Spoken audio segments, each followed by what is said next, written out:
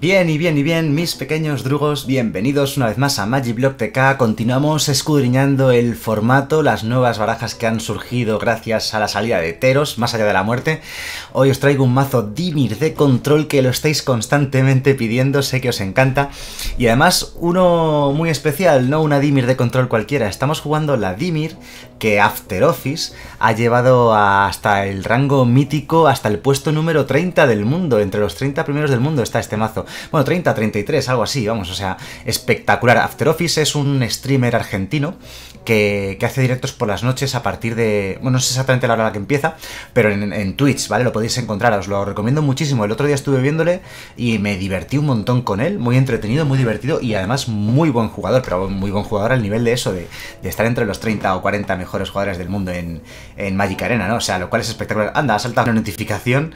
Pues mira, Sir Yaku, eh, nuevos seguidores, muchas gracias, bienvenido.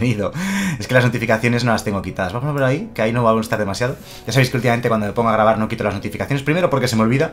Y segundo porque, bueno, pues así a cualquiera que se suscriba mientras estoy grabando, pues eh, ya le doy las gracias eh, in situ, ¿no? Bueno, como estoy haciendo últimamente, os voy a dejar eh, debajo del vídeo en la descripción el listado completo del mazo, ¿vale? Exportable a Magic Arena directamente. Hacemos un pequeño deck tech, lo comentamos, seguro que luego no lo voy a jugar tan bien como After Office, pero nos vamos a echar unas partiditas y a ver si conseguimos ganar alguna. Bueno, es una baraja Dimir de control. Su gran poder, su gran fuerza reside en los Planeswalkers, ¿vale? Vamos a empezar hablando de Asiok, que es la estrella del mazo, es el, nuevo Planeswalker que nos ha aportado Teros, un Planeswalker de una calidad excepcional. Es de los colores Dimir, precisamente, que es el, mazo en sí. Así que, bueno, pues por 5 entra con 5 contadores de lealtad. El primer, la primera habilidad le pone un contador más y pones una criatura 2-3, o sea, pone tokens 2-3. Ojo, lo de que aguante 3 parece una tontería, pero hace que aguante muy bien los bloqueos y pueda atacar con cierta solvencia. Porque si fuesen dos doses, se notaría que son peores. Se nota, en serio, se nota, es una tontería, pero se nota. Bueno, el caso es que Está guay y lo que hacen cuando atacan o bloquean estos tokens es dequear dos cartas al oponente. Eh, he ganado partidas dequeando con Asiok, ¿vale? O sea que no, no desdeñéis esa posibilidad, ¿de acuerdo? No es imposible que eso llegue a ocurrir. Hay muchos mazos que roban muchas cartas, manipulan mucho la biblioteca, vacían mucho su mazo y al final, yo qué sé, te pueden bloquear mucho los tokens, pero al final a la larga acabas ganando con eso. Me ha pasado una vez, ¿eh? Bueno, la segunda habilidad es excepcional, por menos 3 subes cualquier permanente a la mano. O sea, un encantamiento, un artefacto, una criatura, un token, lo que sea, ¿no? Que no sea tierra, ¿vale? Eso sí, también por cierto, que no sea tierra. Y luego ese jugador tiene que descartarse una carta de la mano o exiliarla, mejor dicho, ¿vale? Para ser más correctos. Si le pillas en cartas en mano, quiere decir que le subes algo a la mano y, se lo, y lo exilia a continuación. Entonces está guay, ¿no? Y luego ya el menos 7 lo que te permite es jugar las cartas exiliadas boca arriba del oponente. Todas las que tú puedas ver que estén exiliadas del oponente, las puedes jugar con el menos 7, que el menos 7 lo alcanzas en dos turnos. O sea, ojo, Poca broma. Bueno, puedes lanzar hasta tres cartas de esas que están exiliadas, ¿de acuerdo? Para ser más correcto. El otro Planeswalker tocho que lleva el mazo, Liliana. Liliana es buenísima, contra criaturas es buenísima, contra control es buenísima, cuesta 6, se hace un poquito más difícil de jugar que un Asiok realmente, pero luego, ya digo, es que es muy bueno contra tanto contra criaturas como contra control, ¿no? Así que es una win condition en sí misma totalmente. Por más uno pones un token 2-2, por menos 4 cada jugador sacrifica dos criaturas, la idea es que hagas eso cuando el oponente tiene criaturas y tú no. Y el menos 9 básicamente pues ganas la partida, ¿no? Porque cada oponente, bueno, el oponente normalmente jugando uno contra uno en Magic Arena siempre es un único oponente, elige un permanente que controla de cada tipo y sacrifica el resto. Con cada tipo se refieren a criatura, eh, tierra, Planeswalker, encantamiento, artefacto, creo que son los permanentes, si no me dejo ninguno. Creo que equipo eh, estaría dentro del saco de los artefactos, Así que bueno, básicamente le dejas con una tierra y una criatura, básicamente. Es lo que va a ocurrir, ¿no? Y claro, a partir de ahí pues ya ganas la partida, ¿no? Y luego además siempre que muere una criatura tuya robas carta, ¿no? Entonces esos tokens 2-2 que parecen poca cosa, te dan cartas. Va, la partida está ganada cuando tienes una línea en mesa y has conseguido controlar la partida has ganado, ¿no? Y más Planeswalkers, 4 Narset. Narset lo que hace es buscarte Narset, la Narset, porque es catalana. La Narset, lo que hace la separadora de velos, Narset, es eh, manipular tu biblioteca, darte ventaja de cartas contra agro y contra control. Es buenísima, porque, por eso llevamos 4 copias. Porque contra control impides que el oponente pueda robar más cartas, ¿vale? Cada oponente no puede robar más de una carta por turno, es muy buena contra, contra control. E incluso otros mazos que no son de control también tienen posibilidades de robar varias cartas por turno, pues Narset se lo impide, esa es la, la fuerza de Narset, ¿no? Vale, llevamos un par de copias de optar para manipular biblioteca, los obligatorios, borrar los pensamientos, cuatro copias, el mejor quita cartas del formato, que además escrutas uno al jugarlo, o sea, te ayuda también a manipular tu mazo un poquito. Un par de copias de Desdén del Tirano para tener un removal rápido contra criaturas pequeñas. Y bueno, las, las, intervenciones de tasa están en el coste 2, pero realmente es un hechizo que vas a jugar por coste 4 o 5, ¿vale? Lo vamos a comentar ya. Es básicamente pues como una perspicacia del alquimista, cuando pagas 4 robas dos cartas, ¿vale? Miras dos y robas esas dos. Pero si tienes más mana, si pagas 6, 8, 10, lo que sea que tengas, ya puedes mirar 4, 5, 6, 8 cartas de tu mano y elegir, o sea, de tu mano, del top de tu mazo y elegir dos de ellas, ¿no? Entonces se hace mucho mejor. De hecho, la intervención de tasa a la cual llevamos 4 copias es una carta que sencillamente supera la perspicacia del alquimista, seguramente. After lleva cuatro intervenciones de tasa y luego además otras dos perspicacias de alquimista, o sea, ventaja de cartas a raudales. ¿Cuál es la ventaja de intervención de tasa? ¿Por qué es mejor que la perspicacia del alquimista? No por el tema de robar cartas o mirar más cartas, no. Es porque es versátil, es porque se convierte en un counter. Eh, puedes, o sea, también hace contrarrestar un hechizo cualquiera a menos que el oponente pague el doble de X, ¿no? Entonces, si pagas 3 por una intervención de tasa, el oponente tiene que pagar 2 o si no, el hechizo se contrarresta. Si pagas 4 por, en esta intervención de tasa, el oponente tiene que pagar 4 adicionales para que su hechizo no sea contrarrestado. O sea, es versátil, básicamente, y es lo que le hace muy buena esta carta excepcional. Me gusta que lleve 4. Lo que no veo yo es como un poco redundante, ¿no? Ya también otras dos copias de perspicacia del alquimista, pero yo digo, él sabrá bastante mejor que yo, ¿no? Vale, dos copias además de ladronzuelo atrevido, eh, es una de las mejores cartas de estándar. Em, cualquier mazo quiere llevar alguna copia de, este, de esta criatura, sube cualquier permanente a la mano, que no sea tierra del oponente, por cierto. Y además luego pues es un 3-1, se puede convertir en un pequeño reloj. 6 ataques y has ganado, básicamente. O 7 ataques, mejor dicho. A veces son 6 porque casi todo el mundo juega Shocklands y alguna vida va a perder, ¿no? Un par de copias de jinete homicida, otro removal más o menos rápido, más o menos eficiente. No sé si este mazo ahora mismo seguirá yendo igual de bien que hace unos días. ¿Sabéis por qué? Porque se han popularizado mucho las, mono, las Mengurret, las monorojas agresivas de Andrea Mengucci. Eh, bueno, monorojas agresivas con Filoasqua, con Fénix y tal, se han popularizado mucho y este mazo lo veo un poco ligero en cuanto a anticriaturas, ¿vale? Lleva, lleva anticriaturas, ¿vale? Y lleva formas de resistir estos dos, tres primeros turnos, hasta que en el cuarto turno puedas hacer el ritual de Login, pero aún así, ojo, Ojo, esos mazos puede que ya hagan que este mazo no sea tan viable. Vale, llevo una copia random de Kefnet Dios Eterno por la ventaja de cartas, ¿no? Eh, además de la Win Condition, por 4 son 4 5 vuela, ojo, y además luego puede duplicar hechizos que tengas en mano, así que siempre está bastante bien. Además, no es que los duplique, si robas un hechizo instantáneo conjuro, lo puedes jugar por 2 menos. Una copia de ese hechizo por 2 menos de mana. O sea, lo duplique y lo hace más barato de jugar, ¿no? Eh, un par de copias de Amnesia de Asiok, un buen counter, bastante bueno. Contra muchos mazos es como decir, pues acabas de contrarrestar mi, win condition y no puedo quitarme este encantamiento de encima, así que concedo, básicamente, ¿no? Luego, una copia random también de Devorar la Existencia. Recuerda mucho al desprecio de Braska, solo que sin ganar vidas y te permite mm, manipular un poco tu mazo, ¿no? Es, hace como una especie de escrutar uno, ¿vale? Miras la primera carta del top y la puedes tirar al cementerio. De hecho, lo que hace es escrutar tal cual. Es la habilidad de escrutar, pero no han querido utilizar el texto porque el texto de escrutar lo quieren reservar únicamente para las cartas que son Dimir, del gremio Dimir. Fijaos, miramos borrar los pensamientos. Borrar los pensamientos hace lo mismo, miras, tienes escrutar y escrutar dice literalmente eso, mira la primera carta de tu mazo, puedes ponerla en tu cementerio. Es exactamente igual que el devorar la existencia. Pero ¿por qué en devorar la existencia han decidido no poner la palabra clave escrutar? Fijaos en borrar los pensamientos, lo que decía, volviendo a ello. Veis que en la cajita de texto del borrar los pensamientos aparece el símbolo dibujado de Dimir, ¿no? Esa especie de araña con un ojo en el medio. Esa es la razón. Esta es una carta Dimir y por lore, por temática, por ambientación del juego, quieren reservar la palabra escrutar únicamente para las cartas Dimir cuando estés en el bloque de. cuando estés en el mundo, en el plano de, de Ravnica, básicamente. Como esta carta no pertenece al plano de Ravnica, pues no quieren hacer esa referencia, básicamente, ¿no? Por si os estáis preguntando. Luego el pack de tierras, el pack, el pack de tierras aquí lo estáis viendo, ¿vale? Castillos de Vendaleza que no te estorban para poder manipular un poco la biblioteca en partida avanzada. Lleva cuatro copias de Laguna Lúgubre, lo cual me llama la atención, pero esas viditas extras nos van a venir muy bien contra las monorrojas. O sea, lo que quiero decir es que lleva muchas tierras giradas, ¿no? Que entran giradas. Las Lagunas Lúgubres, cuatro copias. Los cuatro Templos del Engaño que han ayudado a mejorar un poquito la base de mana de este mazo. Además, manipulan biblioteca. Las tumbas inundadas que pueden entrar enderezadas, pero tienes que pagar dos vidas, y también tres pasajes de leyenda. Muchas tierras giradas para estos primeros turnos, ¿no? Vamos a ver cómo funciona la cosa. Yo me fío de, de After Office, seguro que el mazo funciona súper bien. Vamos a jugar en partida amistosa, que estoy rankeando, y no quiero poner en riesgo mi, mi ranking. Estoy cerquita de llegar al mítico, y... Y vamos a ver cómo se, cómo se desenvuelve este mazo en mis manos, ¿vale? Ya sabéis que yo también estoy en directo todas las noches, por cierto, ya puestos a hacer publicidad de otros, va a hacer también un poquito de publicidad de mí. De hecho, creo que yo hago stream antes que After Office. O sea, podéis entrar a las 10 de la noche, UTC más 1, hora de España, a las 10 de la noche, y yo hago mis tres horitas de directo. Y creo que justo más o menos After Office empieza cuando acabo yo aproximadamente, y podéis hacer eh, la continuación con él. Vale, salimos de tierra girada. Voy a intentar concentrarme un poco. Parece que vamos a jugar una especie de mirror. Bueno, el suyo lleva blanco, es una Esper, pero al fin y al cabo es una especie de mirror. Vamos a jugar las tierras giradas ahora. Ya tenemos tierras suficientes.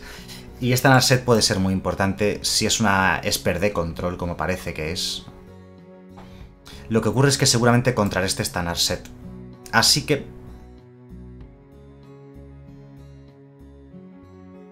Vamos a ver antes qué es lo que tiene en mano para saber en, torno a qué jugamos. Seguramente si tiene counter lo va a tirar ahora. Tenía el counter efectivamente. Pero básicamente lo que le iba a quitar con Narset es un counter, así que como que nos quedamos igual. Vamos a jugar tierra de turno, así buscamos tierra, sacamos tierras del mazo y la probabilidad de robar más tierras se reduce. Poquito, pero se reduce. Los porcentajes... Oh, ahora nos ha pillado de nosotros. Eh, vale, se resuelve, nos va a quitar Narset, supongo.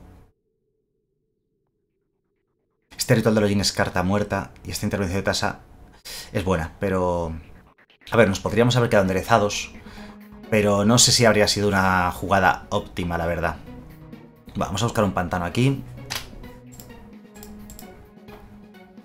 Que tenemos otras dos eh, islas en mano. Y bueno, visto lo visto, vamos a hacer Templo del Engaño, manipulamos un poquito más el mazo, ya que nos hemos robado otra tierra. Si él quisiera jugar ahora algo peligroso, algo bueno, tenemos la intervención de tasa de 2, bueno, de x igual a 1 que tendría que pagar el 2 más. O sea, no nos puede clavar un Asiok, por ejemplo, que es lo que me preocupaba, ¿no?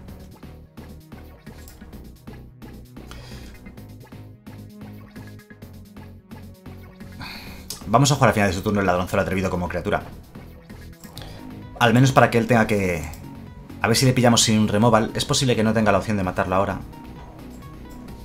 Y unos poquitos ataques nos va a dar. Estamos teniendo mala suerte con los robos, ¿eh? Estamos robando muchas tierras. Pasamos turno, tenemos el counter a lo que él haga y esta Liriana puede, si entra, puede dar la partida. Lo que pasa es que el Valle, vale, va a tener removal, ¿vale? Juguemos lo que juguemos, va a poder responder. Es lo que decía, sabe que tenemos eh, la intervención de Tasha. Vamos a jugarla. A quién sabe, a lo mejor encontramos otra. La pena es que tenemos tres cartas... Uf, claro, eh, justo lo que decía.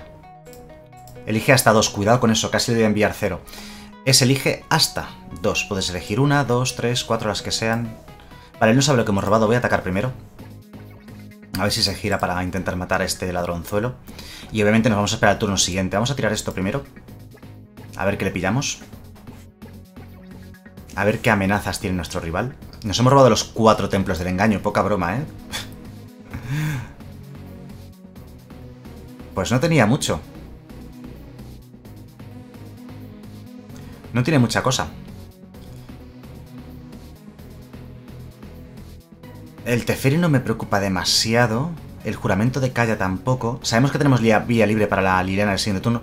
Pues le voy a quitar el robacartas. Y la Narset, yo creo que también nos la vamos a quedar arriba, ¿eh? Jugamos el cuarto templo del engaño. La Narset la dejamos arriba, como he dicho. Y bueno, sabemos lo que tiene perfectamente en mano, así que lo siguiente que va a entrar en juego es la Liliana, que le va a empezar a poner en apuros. Además, vale, juega el Teferi. Lo que tiene en mano no es bueno contra, contra lo que tenemos nosotros, no es bueno contra la Liliana. Se gasta el juramento de en matarnos el ladronzuelo. Se lo puede volver a subir a la mano. Pero esto nos deja en muy buena posición a nosotros. Podríamos hacer Narset este turno, pero no, yo creo que hay que hacer Liliana. Nos va a subir el token a la... Bueno, no sé, veremos qué es lo que hace. Pero es que esta Liliana, la ventaja de cartas de los tokens puede ser crucial.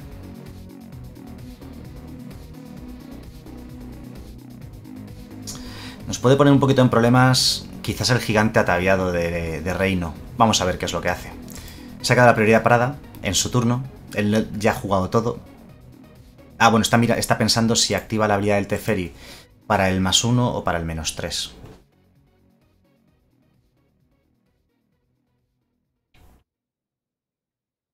Si no encuentra una respuesta rápida a la Liliana, la Liliana le va a ganar la partida. Además tenemos Liliana el turno siguiente y el, y el otro Narset, ¿no? Para encontrar una respuesta si él encuentra respuesta. Tiene 6 de mana, podría jugar el gigante a pelo, como 7-7, y empezar a meter presión con un 7-7 atacando todos los turnos. Vamos a ver qué decía hacer. O sea, es decir, él tiene dos removals, o tres. Tiene un montón de removals ahora que lo pienso. De hecho, con el bramido del Carnarium nos podría matar el token que ponemos con la Liliana. Vamos a ver qué es lo que decía hacer ahora. Se ha quedado pensando mucho rato. Bueno, yo voy a jugar la Liliana, ¿vale? Si quiere jugar el gigante como criatura, porque primero tiene que encontrar la séptima tierra. Puede que nos pongan apuros, puede que nos mate la Liliana. Bueno, sube a 8, es que no sube a 7, es que sube a 7 nada más. Vamos a ver qué es lo que ocurre. Pero sí, tiene varios removal. Tiene el Teferi que puede subir a la mano el token. El Bramido del Carnarium que mata el token. Necesitaríamos encontrar algo con Narset para poder matarle el gigante ataviado o subírselo a la mano al menos.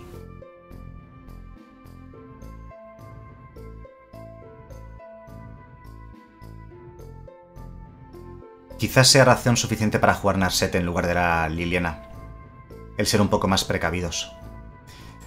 No sé si el, oponente se ha ido, no sabe que tenemos la Liliana. Si lo supiese y tal... Vale, al final ha hecho menos 3 al juramento de Kaya. O sea que tiene todos los removals del mundo que él desee.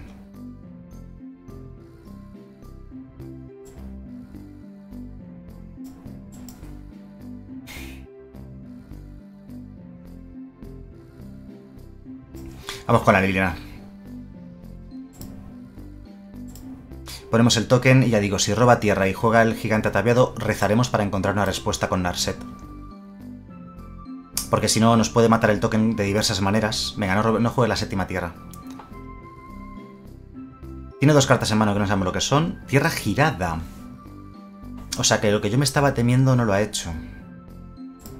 Vamos a matar su Teferi con nuestro token.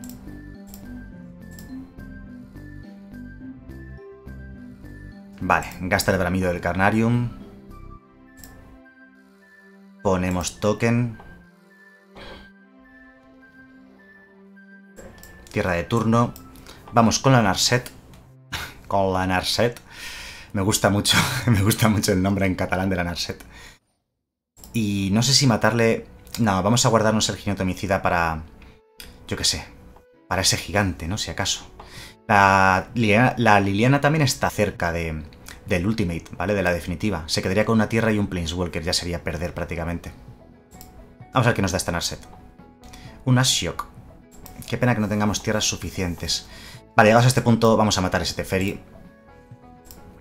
Porque si jugase el gigante, el gigante aplastado, os digo, el gigante ataviado del reino de mano como criatura y ya está, se lo podemos eh, subir a la mano con el Ashiok o incluso matarlo con la propia Liliana, podríamos defenderla de esa manera, haciendo el menos 4, que es otra opción, ¿no? Mira, él tiene el Asiok también. Nos vamos a descartar un ritual de login, pero, pero bien.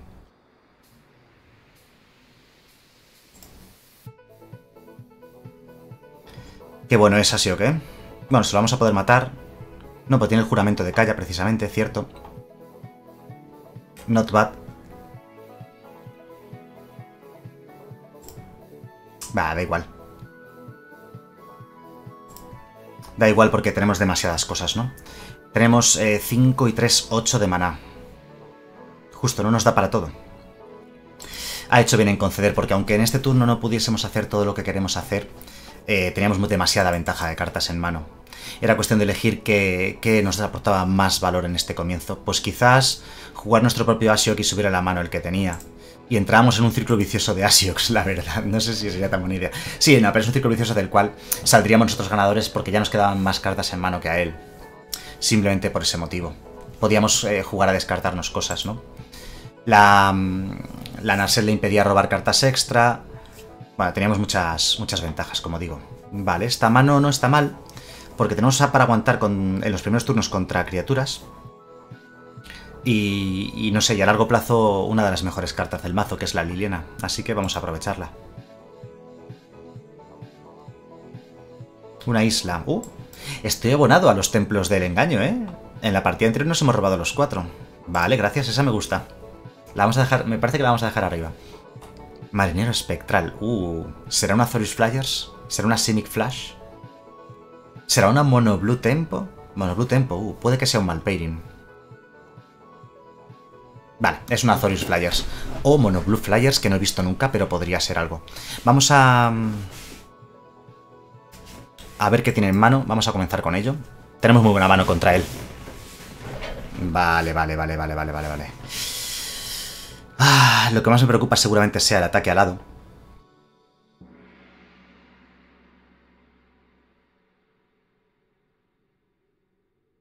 Aunque me preocupa poco, sinceramente. Cualquier caso, se lo voy a quitar. Voy a dejar que llene la mesa de... Esta nos la vamos a quedar.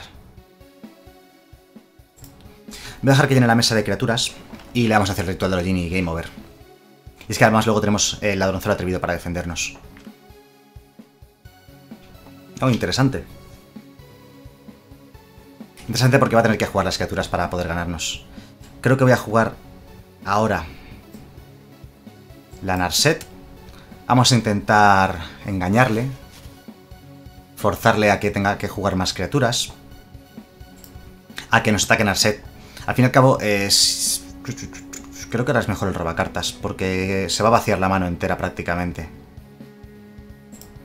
Vamos a pillar el robacartas y lo demás pasamos de ello. Son buenas, pero aquí le estamos forzando a que tenga que jugar más criaturas para que nuestro ritual de login gane más valor. Nos va, a matar a Narset, como digo, pero Narset ha hecho, su trabajo, de darnos una, un robacartas.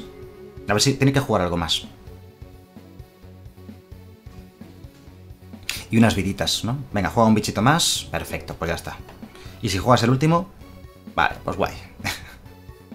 Gracias por poneros la partida en bandeja vamos a jugar esto del ritual de Jin. Buenas noches. Hasta luego. y ya no puede robar nada que nos pueda ganar porque fijaos que tenemos, tenemos todo lo que queramos. Ha hecho bien en conceder porque tenía la partida perdida totalmente. Y bueno, pues el mazo es realmente, realmente divertido, me gusta mucho y, y lo estabais pidiendo un montón. Yo el año pasado la primera temporada que jugué de mm, Rankeds en Magic Arena, la jugué con Dimir de control, pero la Dimir de control antigua, antes de la rotación, muy de antes de la rotación, incluso antes de que saliese la lealtad de Ravnica. Os estoy hablando de, de septiembre, octubre, noviembre, diciembre, hasta enero del año pasado. Estuve jugando una Dimir de control, era totalmente distinta a esta. No tenía nada que ver porque, para empezar, ya digo, eh, estaba basada en, en la colección Gremios de Ravnica y las colecciones anteriores, Ixalan, rivales de Ixalan, Dominaria y M19 que ya rotaron, ¿vale? Entonces esta Dimir no tiene nada que ver, aunque el espíritu lo sigue conservando, ¿vale? El espíritu al fin y al cabo es el mismo, es un mazo que lleva roba cartas, counters y luego eh, cartas de valor, ya sean Planeswalkers o sencillamente criaturas con habilidades de entrar en juego, o cosas como Ladronzuelo Atrevido, cosas de ese estilo, ¿no? Eh, aunque la versión que yo llevaba originalmente era muy budget, muy muy budget, porque era casi free to play, porque no llevaba, no había Planeswalkers, no había salido todavía Em, la Guerra de la Chispa, que es la que trajo todos los Planeswalkers. Y era muy barato el mazo, lo único que necesitabas eran las tierras. Sí, ocho tierras eran las raras que llevaba el mazo. Y luego prácticamente el resto del mazo se podía jugar sin raras, ¿no? Salvo por las tierras. Vale, te digo, el mazo muy bueno, seguro que After Office lo juega mejor que yo. Y os recomiendo que lo veáis, ¿vale? Me ha molado mucho, o sea, lo, estoy recomendando porque yo si veo a alguien que me gusta, lo recomiendo, ¿vale? Igual que recomiendo a Rap Solo, que me encanta también lo que hace, lo podéis encontrar en YouTube o en Twitch. Lo mismo con After Office. Creo que After Office no tiene YouTube, creo que solamente está en Twitch, pero muy, muy bien también, ¿vale? Así que, bueno, y a cualquier otro que me mole, pues os lo voy a recomendar. Y a quien no me mole, pues no lo recomiendo y ya está. bueno, espero que el vídeo os haya gustado y nos vemos en el siguiente vídeo. Hasta luego.